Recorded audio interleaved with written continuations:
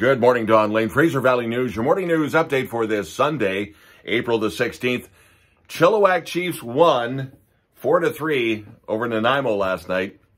They lead that series in their second round, two games to none. Game three in Chilliwack uh, on Tuesday night, game four in Chilliwack on Wednesday night. Let's not get ahead of ourselves, but um, this is a pretty good playoff run. Let's see what happens. Also on the go, reminder. Uh, River Cleanup Earth Day is next Saturday.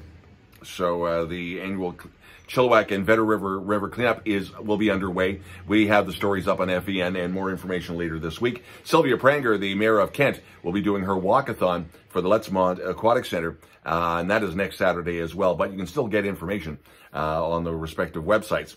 Uh, also, uh, the uh, Climate Fair, the Rotary Climate Fair, continues in Chilliwack and a number of uh, potential employers are looking for people if you're interested in environmental issues and some type of uh, employment in that. And that's at the Landing Leisure Center in Chilliwack.